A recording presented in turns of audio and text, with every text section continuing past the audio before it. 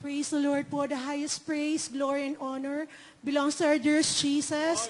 And we give double honor and respect to our beloved Pastor Wildestrada Almeida.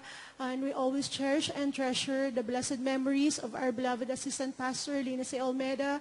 I would like to extend my greetings po. Good afternoon sa ating beloved children uh, my dear children. Sa inyo po, beloved brethren, and to our beloved webcast viewers. Welcome po sa True Church of the Living God, the Jesus Miracle Crusade International Ministry. Praise the Lord. Hallelujah.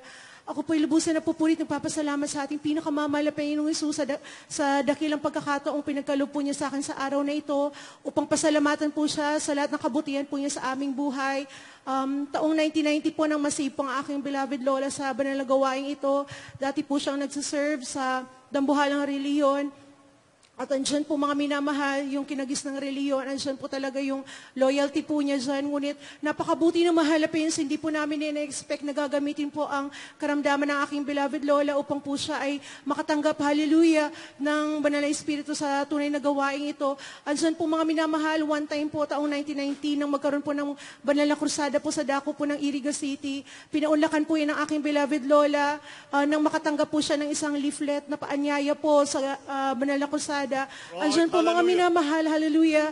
During altar call po, ang ating beloved uh, and honorable pastor po ang nagpipray po. Andyan po mga minamahal, napakabuti ng mahalapins dahil po kaad- kaagad-agaran po naramdaman ng aking beloved lola ang kaginhawahan sa kanyang katawan. Praise the Lord. Hallelujah, hallelujah, praise the Lord. Simula po noon mga minamahal, hindi na po siya nang hinawang mag-share po sa amin ng Word of God. Taong 1999 po mga ma- minamahal ng tamaan po ako ng sakit na dengue and typhoid fever. Andyan po na nagkaroon po yun ng complication to the point po na bedridden na po ako mga minamahal. Ngunit ang aking beloved lola po ay patuloy pong nag-share, hallelujah, ng word of God. And lagi po niya ako nililihan sa every after service. Uh, one Sunday po na hindi ko po makakalimutan, andyan po na Binulungan po ako ng aking beloved Lola na kahit sa isip daw po, banggitin ko po ang hallelujah, praise the Lord, after po niyang manalangin sa unang dalangin ng ating beloved pastor. Andyan po mga minamahal, hallelujah, para po akong nagdahilan, naramdaman ko po ang kaginhawahan, praise, Praise the the Lord. Lord, hallelujah. Although po ng time pong yun, hindi pa po ako baptized, hallelujah, andyan po ang kagalingan pinagkaloob ng mahal na Panginoong Jesus. Andyan din po mga minamahal, nang kami po ay mabautismuhan sa banal na gawain ito, tunay po ang mga himala at pagpapalay ng naganap sa buhay namin. Andyan po na dati, akala ko pang himala ay naririnig lang po sa mga um, mga Bible stories po at mga na- nababasa lang po sa Biblia. Ngunit tunay po nagaganap po yun sa banal na gawain ito. Praise the Lord, hallelujah. One time po, papasok po kami ng beloved brother ko po sa school. Andyan po na nawala ng preno yung bus na sinasakyan po namin. At andyan po mga minamahal na nahulog talaga po yan sa kanal. Lahat po ng pasahero talaga po mga minamahal na nakatamo ng sugat. Ngunit po kami, tunay na nagpagpag lang po. Praise the Lord. Amen. Hallelujah, Hallelujah. Praise the Lord. Napakabuti ng mahal na Panginoong Jesus. Andyan din po na one time po sa ah, pagiging baby in Christ po namin, hindi pa po namin naunawaan na importante po pala mga minamahal ang pananalangin bago umalis ng bahay. After po ng family gathering namin, buong pamilya po namin nakasakay sa aming sasakyan at um, midnight na po yun mga minamahal. So sa dako po ng probinsya, ang mga kasalubong mo po pag an, ganong oras ay mga malalaking truck po papuntang Manila. Andyan po mga minamahal, napakabuti ng malapin dahil po nang mawala ng preno ang aming sinasakyan. Andyan po na pinakita ng malapin sa aking beloved papa. Nang time po kasing yun, hindi pa po siya safe sa banal na gawain ito. Pinakita po ang himala, hallelujah, sa pamagitan ng pagsigaw ng hallelujah, praise the Lord.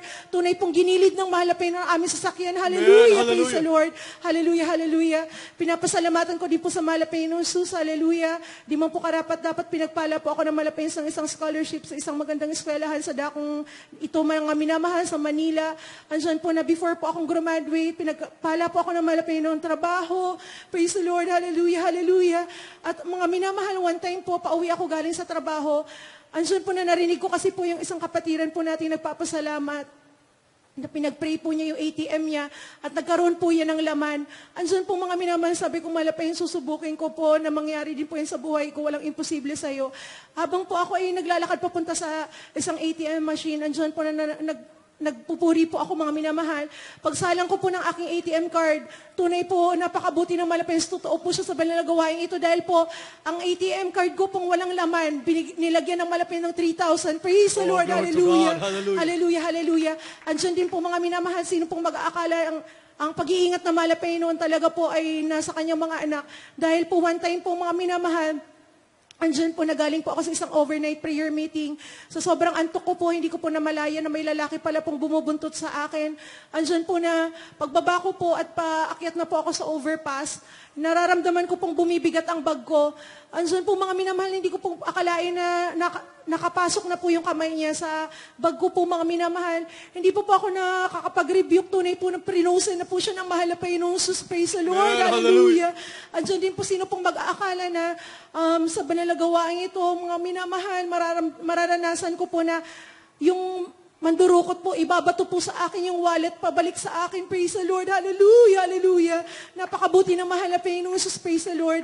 Andyan din po sa paglilingkod sa mahal na Panginoon. Dito na po ako pinagpala na makakasama sa buhay at pinagkalooban po kami ng dalawang milagrong anak na pinagkaloob ng mahal na Panginoon. Tunay po, napakabuti ng mahal na Panginoon dahil po ang panganay po naming anak, akala po namin, mawawala po sa amin nung nasa sinapupunan ko pa po siya. Dahil po mahina ang kapit niya, ngunit napakabuti na malapay yung sus. Instead po na sundin namin yung advice ng OB-GYN po na bumili ng pampakapit. Pinagkaloob po namin yan sa panlalagawain ng mahal na Panginoong Jesus at napakabuti ng malapis after check-up po, nagulat ang OB-GYN dahil po yung bata po is maayos na po ang kapit niya. Praise the Lord. Hallelujah. Lord, hallelujah. At ngayon po mga minamahal, ah, siya po ay 7 years old na ginagamit po sa panlalaubasan, kinahabagan po bilang isang children's choir. Andyan din po, ah, months old pa lang po siya, nang tamaan po siya ng sakit na ambibayasis. Andyan po na dumu- dumudumi po siya mga minamahal. Um, 20 times po sa loob ng isang araw nang may kasama na pong blood. Ngunit napakabuti ng manapins, wala pong ginamit na gamot. Tunay pong pinagaling po siya ng pinakamamahal na pains. Praise the Lord. Hallelujah. Ang aking bunsong anak din po mga minamahal na emergency CS po ako dyan dahil na-overdue po siya mga minamahal. Um, napakabuti ng Malapins dahil minutes na lang po talaga mawawala po sa akin ang aking beloved son. Ngunit napakabuti ng na Panginoon sa unang dalang beloved pastor. Out of seven pong batang pinanganak ng araw na yan, tanging anak lang po namin ang walang komplikasyon. Praise the Lord, Yeah, hallelujah. Napakabuti ng mahal na Panginoon so sa buhay po namin. Ah, pinapasalamatan ko pang pinakamamalapins, di man po karapat dapat. Hanggang ngayon kinakahabagan pong gamitin bilang isang um, beloved finance generation choir member. Kaya po ang lahat ng kapurihan, kapasalamatan, kadakilaan, kalwalatian na itang sa ating pinakamamahal na Panginoon po lang. Praise the Lord, hallelujah.